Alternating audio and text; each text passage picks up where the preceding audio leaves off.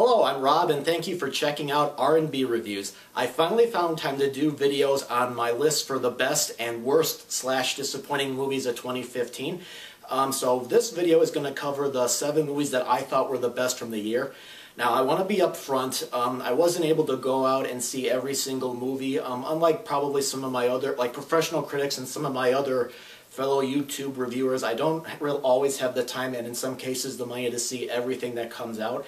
So for those of you that are watching the video, be like, Rob, how could you not have The Revenant on your list? How could you not have The Hateful Eight on your list? As of now, I haven't seen those movies. I'm going to try and see them as soon as I can. But based on what I have seen, um, th this video is going to cover the movies that I, based on what I have seen so far. And so, um, granted, some of these titles may not be actually on people's list because of, you know, you know, they may not consider it quite up there with some of those other movies. But nonetheless, these are the seven movies that I saw that I thought were the best, and I'm going to go ahead and include them on my list. Alright, so let's begin. Number seven on my list is The Avengers, The Age of Ultron. This is the sequel to the incredibly successful film from 2012. It is quite different from the popcorn fun film that came before it. It's a darker film and allows other characters to shine like Hawkeye and Black Widow, and it has more dramatic moments including um, little bits between Tony Stark and Captain America. Director Joss Whedon mixes on the edge of your seat action with some comical bits, and the wisecracks come at very good times. The movie does suffer from what I call either um, Iron Man 2 syndrome or Amazing Spider-Man 2 syndrome, where there's a lot of subplots and characters that are thrown in, and some perhaps get more attention than others. And Ultron, despite wanting to wipe out mankind, I didn't really find the character quite to be as interesting, but I did admire the movie for being different from the first Avengers film. Number six on my list is Paddington. Now, I know there's going to be some viewers going, Rob, the movie came out in 2014. Well, not maybe internationally, but here in the United States, the movie came out in January of 2015. It was supposed to come out on Christmas Day of 2014, and it didn't. So I'm going to count it as a 2015 film. Now, Paddington the movie was loads of fun, and I uh, probably the most that I had in the theaters this past year. It is a silly, funny, ga uh, gag-filled, quirky film with quick jokes, and it does have some unique storytelling. For example, there's a sequence where um, they, the filmmakers use a dollhouse to explain uh, the Brown family. That's the family that Paddington comes to live with and I thought that was a good way to um, sort of you know show us who the characters were. And Paddington, he's a sort of fish out of water character that is constantly getting into trouble, and the rest of the characters, you know, the Brown family has very contrasting personalities. The movie's theme about family coming together and you know not wanting to be around each other at first, but eventually coming together, I found to be very relatable, and the and um, I, the main plot with you know Paddington trying to fit in with the family I found to be a little more interesting than the subplot where villain Nicole Kidman is going after Paddington to try and you know stuff her for uh, sorry stuff him for um, her collection.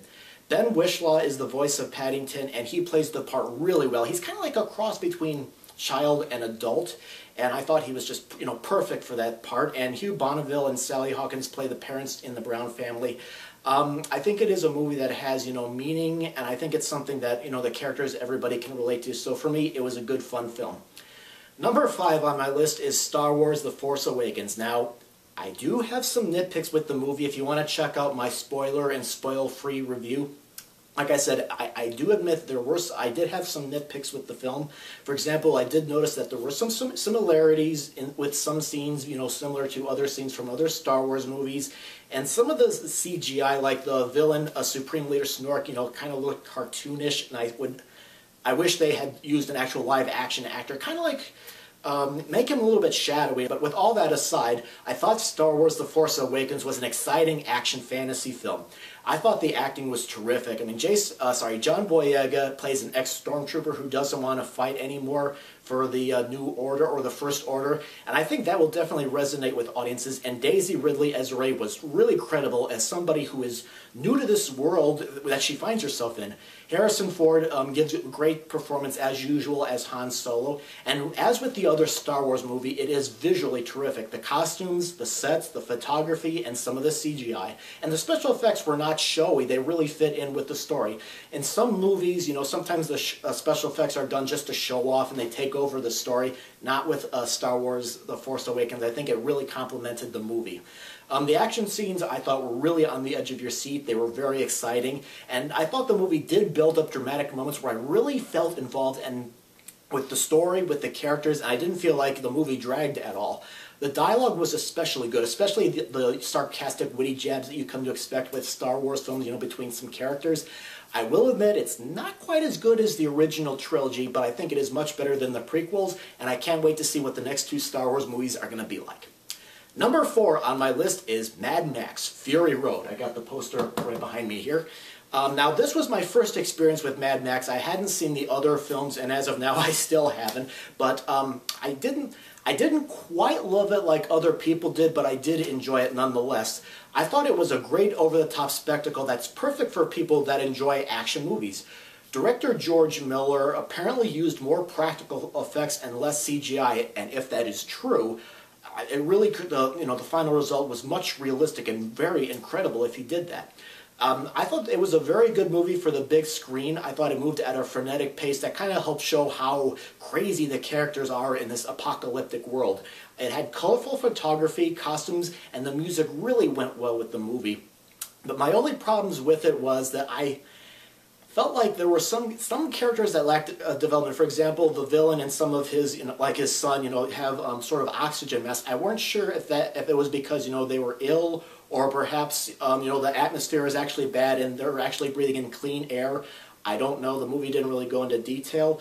Um, and, and, and also, again, there were a lot of characters, and sometimes it got a bit confusing as to who was who. And I, will admit, I'm not really sure if this movie, because it was a great, you know, movie to see on the big screen, I'm not sure how well it's going to hold up on smaller screens like TVs or the computer or even your own phone. But I thought it was an exciting, fun, you know, spectacle to go see uh, this past summer.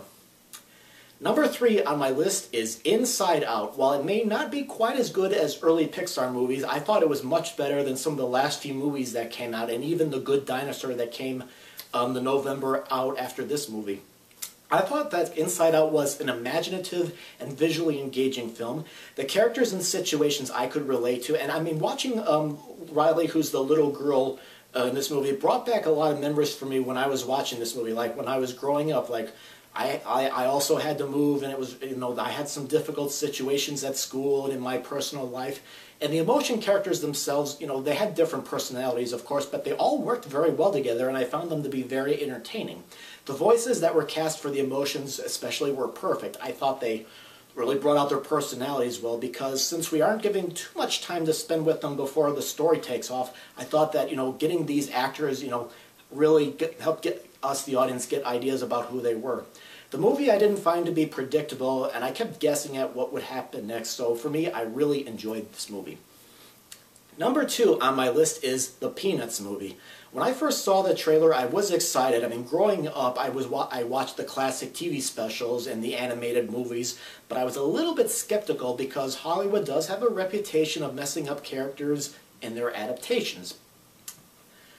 Excuse me, but in the end, I don't think they really did, even though it was done as computer animation as opposed to, you know, the hand-drawn animation. I think the film got the behavior and the look of the characters right.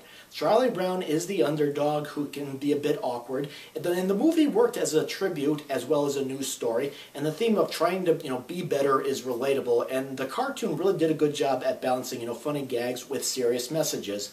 I personally, you know, really rooted for Charlie Brown as he tried to better himself, the movie did have its share of slow spots that did come across a little bit like filler, and there was a modern pop song by Meghan Trainor, I think that was in the movie, and it did kind of feel a bit out of place. But I thought it was a great film for fans, new and old, and you know families, and the humor was clean. There were some great gags, and you know a great lead character to root for.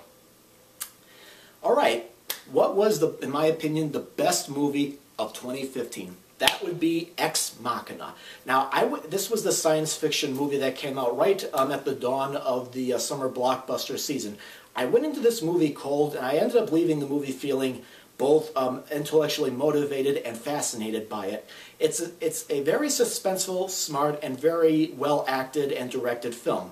The movie setting is a combination of contemporary and futuristic settings where people rely on technology Um, the cast is mainly made up of three actors, and they all went on to appear in bigger projects uh, later last year. We have Oscar Isaac as CEO Nathan, Domhnall Gleeson as Caleb. He is a programmer who's invited to Nathan's home to see his latest technological project, and Alicia Van Vikander is an AI project. All three of them really contrasted each other very well. Gleeson as Caleb is socially awkward, Isaac is a more sociable character, and Vikander is really believable as the robot. I complete sometimes I forgot that I was watching an actress and thought I was watching an actual machine.